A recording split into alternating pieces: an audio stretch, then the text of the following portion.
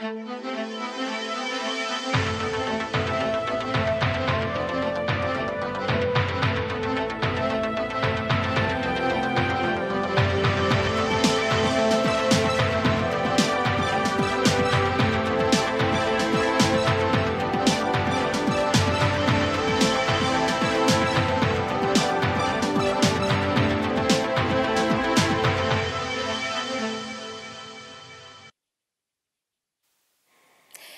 thanks for joining us on News Now on TV 360 Nigeria.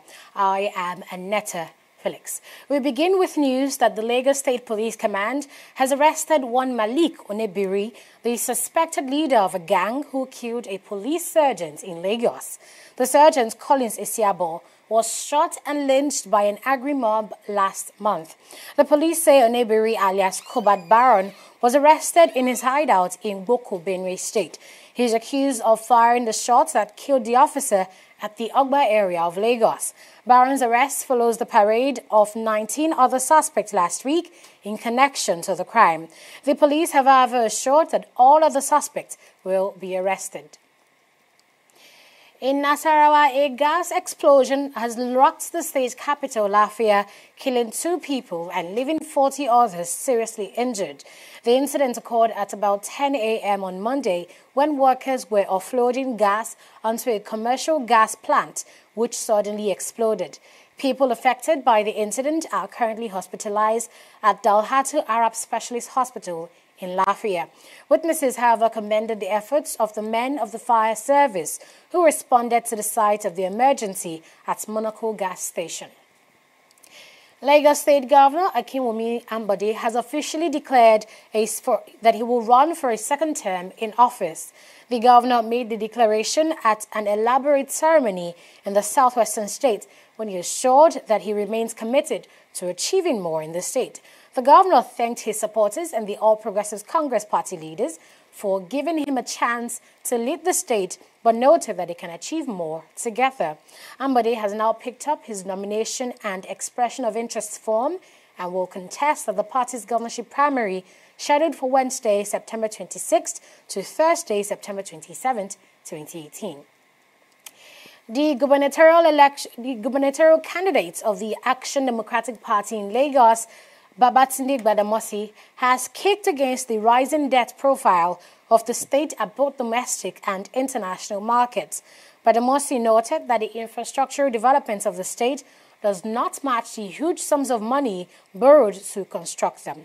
The ADP candidate says if he if he eventually wins the governorship seat in the state, his priority will be to tackle the debt and assure that the state rises to its status as the African economic nerve center three ways of creating jobs for the youth.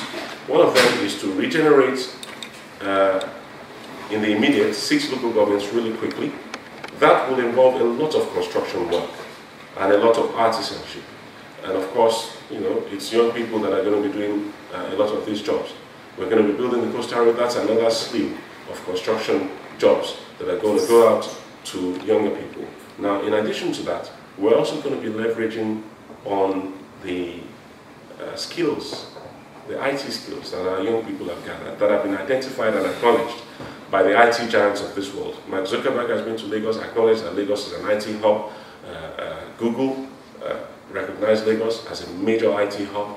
Now, we're going to be leveraging on that to set up, to help with, to help a lot of youth do startups, IT startups, um, technology startups, not necessarily just IT, technology startups in general, we're, we're, going to be spending a lot of money in, in these areas to help young Nigerians start their own companies that will compete on the global stage. That's number one. Number two, we're going to help. We're going to be helping the entertainment industry massively. Okay, and the reason for that is it's not altogether altruistic. It's about enlightened self-interest, self-interest of the states. That is, um, if California is making as much as they are from from uh, entertainment tourism, then what on earth are we doing with the third, with the world's third largest film industry, which is largely centered on Lagos? You know, we're going to be working with the entertainment industry to expand their capacity, to improve their output. Well, there isn't any talk of increasing the output, it's just improvement of the output. of, of the output of the entertainment industry that we're going to be working on, uh, with specific regard to the film industry. Then the music industry is more or less standing on its own legs, and that's mainly because they've managed to leverage on the various uh, platforms that are available out there on the internet, iTunes, Spotify, and the rest of them. Okay, we're going to be working with the music and the uh, movie industry to make sure that we, you know, we sell them to the world in, in the best possible lights that we can. Meanwhile, in the Alliance for Democracy, Owolabi Salis has emerged as the flag bearer of the party in the Lagos governorship election. Salis emerged by consensus through a voice vote at the party's primaries held in Lagos. He assured that he will improve the livelihood of all Lagos residents if elected as governor. Our plans are focused on the less privileged people, the people. And uh, when you're talking about plans now, you have to look at it sector by sector. You know, uh, issue of education, the health, you know, the, the shelter, housing, you know, not just by bus stop or decoration. You know, okay, nice, you need to have a decorated Lagos, you know, not bad. But people are suffering, you know, empowerment of the people, particularly their, their sustenance, family values. So we have a lot of plans. I don't want to reveal my plan right here, you know, uh, but good plans too. But some of the, you know, there's some, you know, some of the plans that we have in the past since 2006. Some of them are being executed now. I'm not saying that they stole our plan, but ideas could cross mine. Uh, we have some projects that we're going to continue under this government. You know, like the Lagos Neighborhood Service Corps, uh, the last man, those are very nice ones, but we are going to upgrade them, you know, because we have that plan since 2006, you know, and uh, hopefully if we win, the whole of Lagos will enjoy what we're going to do. Meanwhile, one of the newly registered parties has been unveiling its manifesto for the 2019 general election.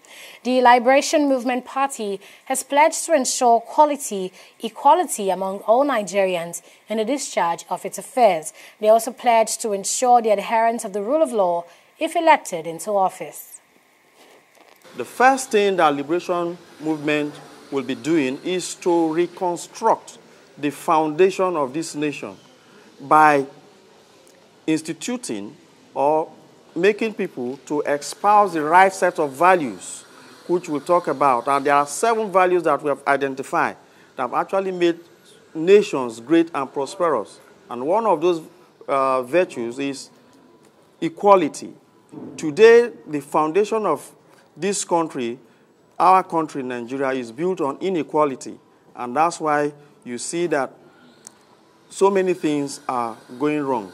Because when a nation is built on inequality, the first thing that happens is that you get your priority misplaced.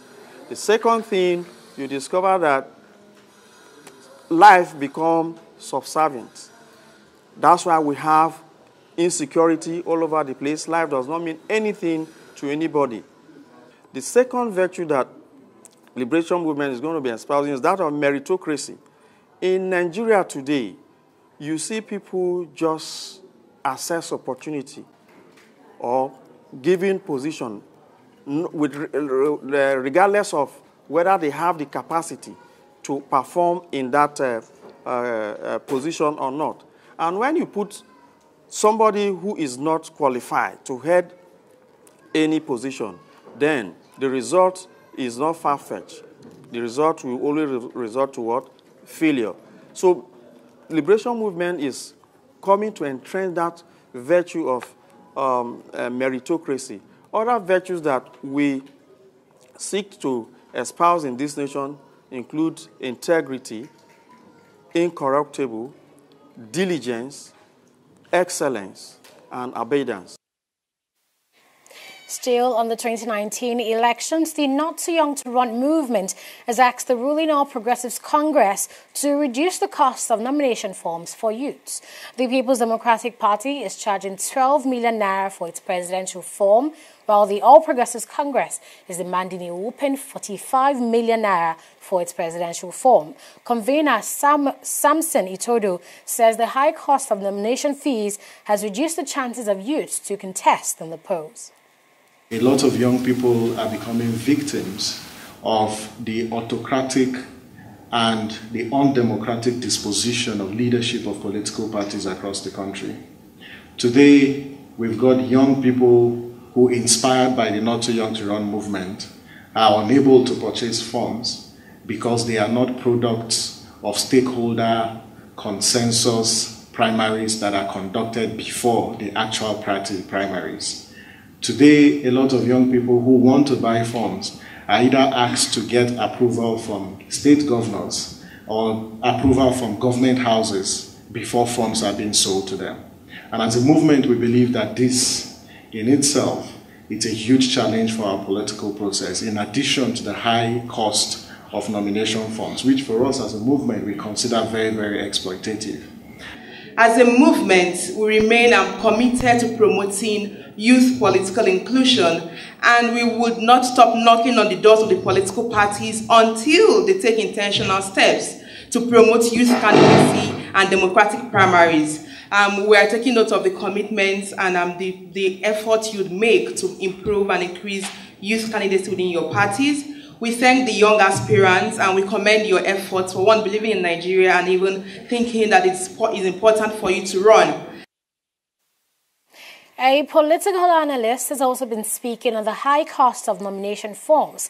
Chike Oge believes the fees are too high and will encourage corruption. Oge, who was speaking on our flagship program, Deji 360, also wants the courts to look into the matter. When you ask a man to pay so ex expensively for a form and he gets into office, what is the first thing he's going to do? Because most likely he's going to even borrow that money. He has to pay it back. Already we are opening up avenues for corruption. Okay, look at the situation. Apparently the, the president has come out to say, ah, 45 million, I don't have that money. Yes, that money. And then they are saying some a governor wants to pay for it. Some other people say it's a group. We don't even know. This is the beginning of corruption. Why should a sitting governor, if I if I made to understand what I heard or what I read, who has been unable to pay salaries for about 12 months or so, his state is in a total mess why should he now be happy to pay 45 million naira for the for the form for the for the president if it's not that he's looking for some favor or, or the other? So these are all the kind of things that trip off the policy, so, the so, polity, if you ask so, Somebody going yes. to court. Do you, do you, think this is something that the court can actually deal with? Definitely. That, that's why courts are there for. The court's jurisdictions are, unlim are unlimited, especially in the high court. And, you know, like they said, there's always the inherent powers of the court where it can assume jurisdiction over any matter. The only thing is that you, you just don't want to show that it's a busybody that is coming there. Show you have what we call in law the locus standing, and then once that the court will determine. And the good thing about um, about the law is that it's always good to test it. You know, the law is like a, a living thing, so you have to feed it to understand how it grows. It's organic. You have to keep feeding it. The, and the Director Engineering Hydrology NIHSA, Clement Nze has, is calling for a proactive measure by government and its relevant agencies to relocate Nigerians living in floodplain areas to prevent potable disaster and loss of lives. Nze gave the warning at a press conference where he also noted that Nigeria is likely to witness a repeat of the 2012 flood disaster he says the flood is most likely to affect states along the River Niger and River Benue axis. On his part, Director General of the National Emergency Management Agency, NEMA, Mustapha Maihaja, assured that a committee will be set up immediately to help come up with ways to contain the flood. On the River Niger axis, Kebbi, Niger, Kwara, Kogi, Edo, Anambra, rivers, Bayelsa, and Delta states would experience a river flooding. If what is happening in at the upper catchment the upper Niger, the inland delta, the middle Niger. If it continues from what we are what we are receiving from uh, the dams continues, and also the release of water from the uh, Shiroro Dam,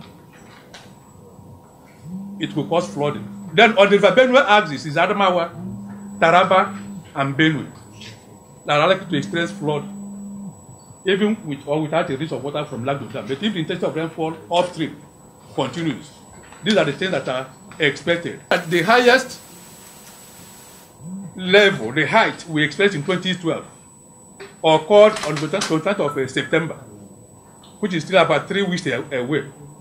The highest flooding that occurred in Nigeria in 2012 occurred on the 20th of September 2012. 29th, 29th, which means we still have more than three weeks or thereabout ahead you know, of that particular time. And the height was 12.840 meters. As of today, it is uh, 10.01. We'll go on a short break now and we're back with news in business. Do stay with us. In the last three years, we have built a multi-purpose center, which is the envy of all in our constituency. And I can tell you that the people who are living there are already enjoying it. Guy, do you think what this man just said is true? See, I seriously doubt. I'm sure it's one of those their silly lies. And wait, oh. do you know there's a way to find out if these things he's saying is true or not? Ah. This is the Construct app. It gives people like us a sure way to track implementation of constituency projects. It gives valid and verified information on location of projects, amounts allocated, amount funded, the level of job done, and even the profiles of concerned legislators. You and I can post directly on this app. Are you serious? This is the Go Tour app if you want to know how our Commonwealth is being expanded by the government. Wow. Let's even see if what this man said is true. Show me. The Construct app is developed by OrderPaper Nigeria with support from USAID and is available on both Google Play Store and Apple Store. Eh, and it's true. of course, I told you.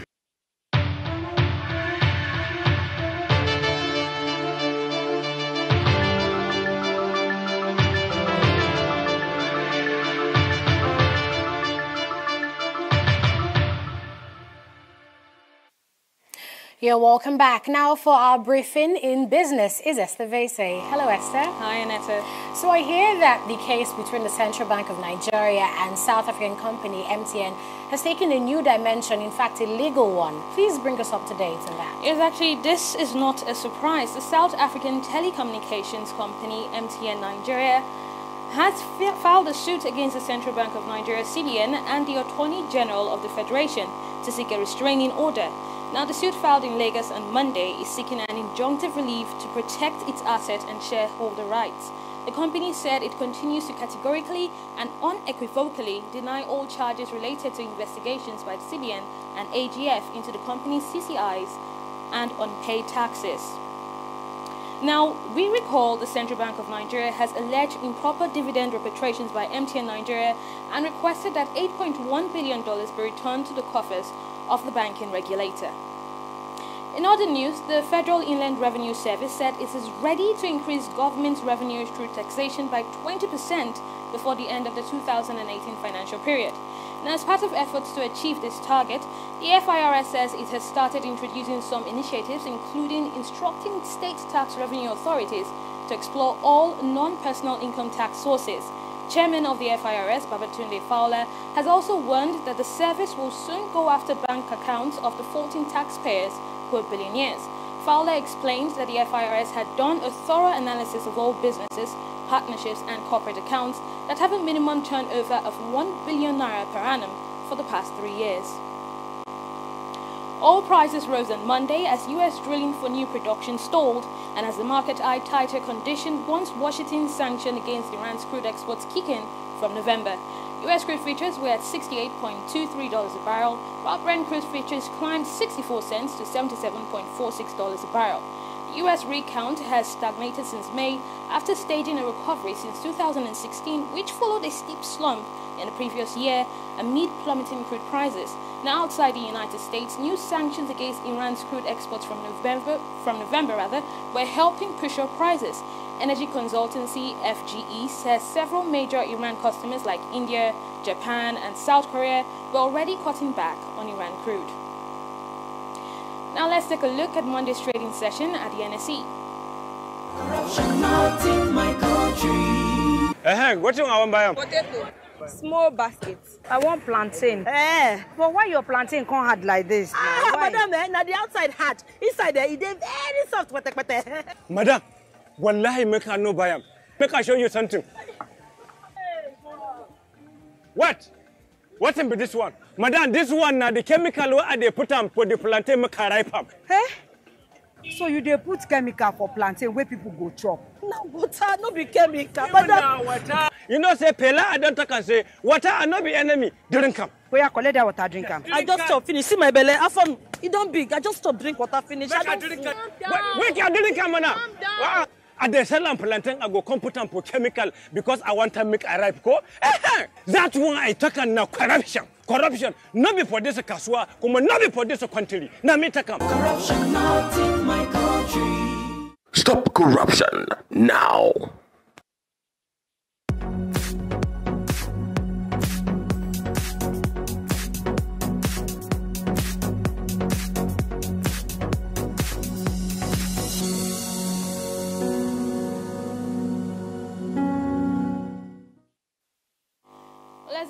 Monday, the equities market started the week's trading session with key market indicators standing at 34,848.45 basis point, and closing the week's market on Friday, key indicators stood at 34,037.91 basis point. That's dropping by 810.54 basis point. And that means greater part of the week was spent in the reds. The bears dominated. Now this week today, from 3,104 deals, a total of 1.5 1.356 million shares, 1.356 billion naira was generated from a total of 137.625 million shares traded. Now, hopes of ending the bearish trend and having the bulls regain dominance in the market has been shattered as we see it goes further down by 1.25 percent. Today's loss is largely attributed to the consumer goods sector as it records a 3.69% decline. You know, in fact, all sectors recorded declines, but the consumer goods recorded the highest decline. Now, leading the cream of losers, 21 of them, and dishing a hard punch, Nestle Nigeria declined by 145 naira. And this may be unconnected with the low purchasing power of consumers, which right now is caused by the high unemployment rates and presently it stands at 18.8% in the country. Flour mills of Nigeria, however, recorded the most gain with custodian honey flour and UPL, sorry, excuse me, custodian honey flour and UPL coming in leading our top four. We can see flour mills ended closing at 22 naira with a 0.5 0.5% uh, change in its share price, and you see custodian with a 1.85% increase, honey flour finished with a 5.65% increase, and UPL with a 4.17% increase. Now, to entice the did all the records, all everything recorded today from the gainers section was not really enough to push up or to entice the bulls back to the to gain dominance in the market. But being investors' delight anyways, top traders for today's session is Diamond Bank, UBA, Guaranty Trust Bank, and Fidelity Bank.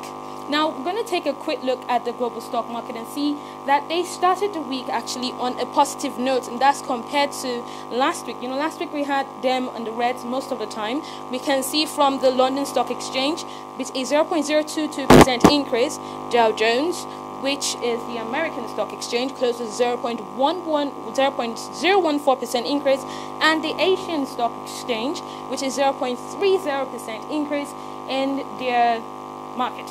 Now, that's all we have on the stock market, Aneta. Thank you, Esther. And there's a very uh, important observation I made about today's business. I, I, see that the all the oil prices are rising today. I see that talking about the NSE, the, the bears have returned to the market, and the bulls yes. have returned to the market on the global stock trade. And I would say, for one, that that is very interesting today. Yes, yes, actually, it is very interesting. Hopefully, the bulls did not return. Hopefully, they return tomorrow. Actually. Indeed. Thank you so much for that, Esther.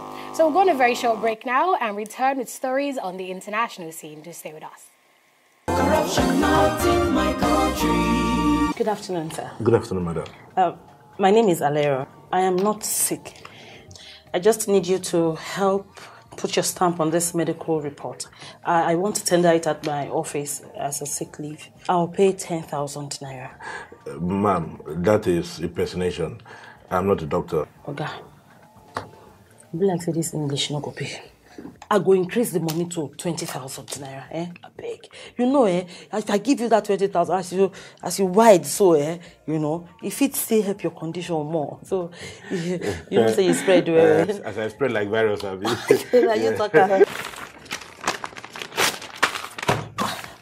Come out! If person come your hospital, talk say make you give am fake medical report, make you go take collect sick leave. Talk am say no, na corruption, not in my country. Corruption not in my country. Stop corruption now. Six people have been killed in an Al Shabaab attack on a local government building in Somalia's capital, Mogadishu.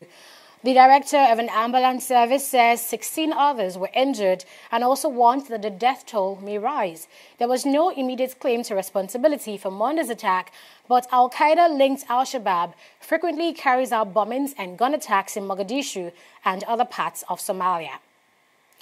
19 people have been killed after a small passenger plane crashed into a lake as it tried to land in a thick fog in central Sudan. Only four people, including two children, survived the attack. The victims include the pilot and co-pilot, a staff member of the Red Cross, and an Anglican bishop. The aircraft was carrying 23 people from the capital, Juba, to the city of Yirol on Sunday. In football, Nigeria's coach Gernot Rohr has named 18 players for Tuesday's friendly match against Liberia in Monrovia. The list has 13 foreign-based players and five homeboys. Rohr, who helps the Super Eagles beat Seychelles in their 2019 African Cup of Nations in Victoria on Saturday, picked Ayimba Trio, Ikechukwu Ezenwa, Mfon and Sunday Adetunji. The match scheduled for Tuesday is to celebrate former World Footballer of the Year, Liberian President George Weah. Nigeria's Aruna Quadri and Egypt's Dina Meshref have emerged as singles champions at the 2018 ITTF African Championships concluded in Mauritius on Sunday, September 9, 2018. Quadri did not drop a point from the first round until the final when he defeated Egypt's Ahmed Salah 4-1 to win his first African Championships title, which he narrowly lost to Egypt's Omar Assar in 2016. Also, Meshref, who lost the title to Nigeria's Olufunke Oshonaike in 2016, reclaimed her title after a convincing 4-0 win over compatriot Rim El Akri in the women's single final. Lastly, former Saint Etienne player Williams Gomez has died at the age of 19 after reportedly being shot with an AK-47. It's reported that a 14-year-old boy also died in the incident, with the police with the police finding uh, the gun at the scene.